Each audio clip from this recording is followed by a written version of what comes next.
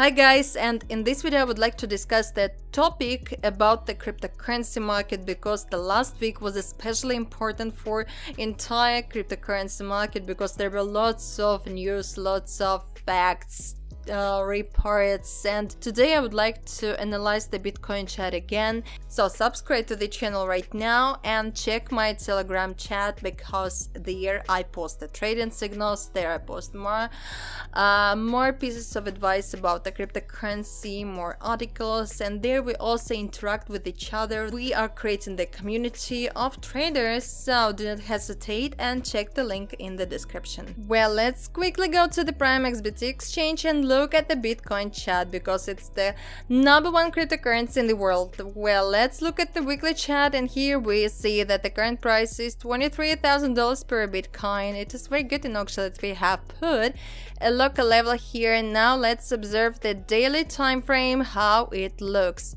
You know, we can even look at the 4 hour time frame, I suppose. So here, right here actually guys, the price is trading here again and trying to bounce from this level and then go up.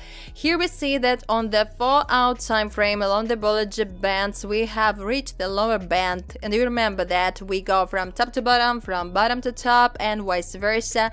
Perhaps uh, it is bouncing from the middle and we can fix on it for a while but let's see how wins will happen. Well there's an option even to go up as expected expected the price rally organized by the US FRS led to one-time increase in the price of Bitcoin to the area of uh, 24,300 to 24,247 dollars on this exchange. Well guys, let me remind you that uh, all of this connected with the hike of the Fed's basis points. The main topics that Powell said the goal of FRS remains the same is the return of the CPI to the well of 2%. The current CPI is uh, 6.5%. You know, actually, it's too early to talk about the stop and rate increase because, you know, the effect of the contractionary policy showed a very positive trend in the prices of goods, but not in the service sector.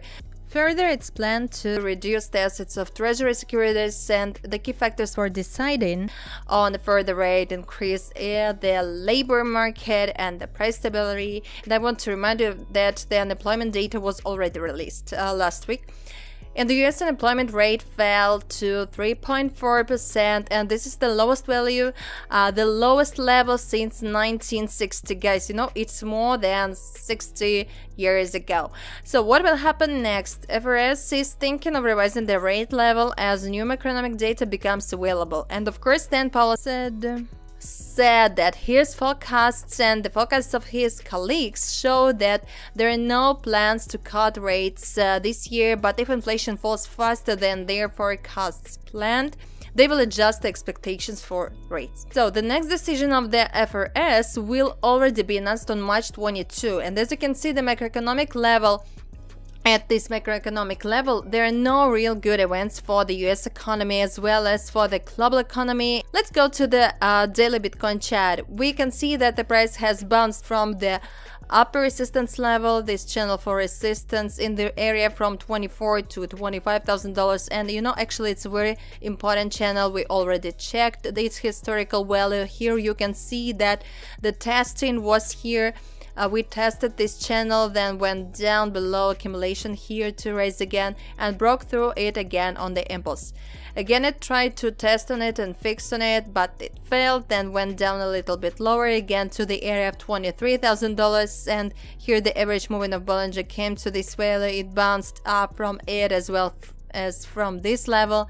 It was already able to fix uh, in it for several days, then tried to go beyond it, but failed because it's lacked the impulse strength and flew back. Now, of course, history actually repeats itself. We can see here the first value, the first test, it didn't work out. There were small ones here, but the most important line was here because this line appeared on the news that uh, FRS released.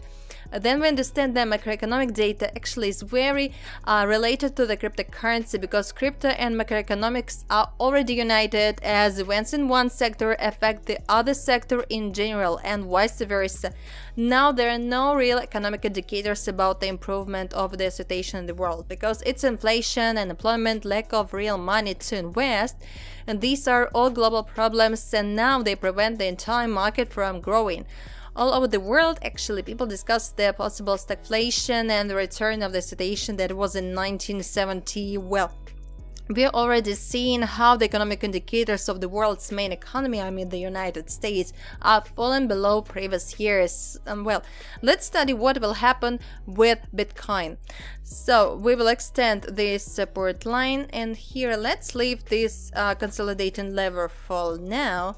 Well, let's predict possible events. Um, either we're going to this zone and we will be here for some more time and if the price falls below the level of $23,000 for example $22,000 then it will be already a movement to the 21,000 uh, level and the future fate will be decided here yeah or the price will move even lower and it will be the zone around 18 19000 but these are the negative events actually.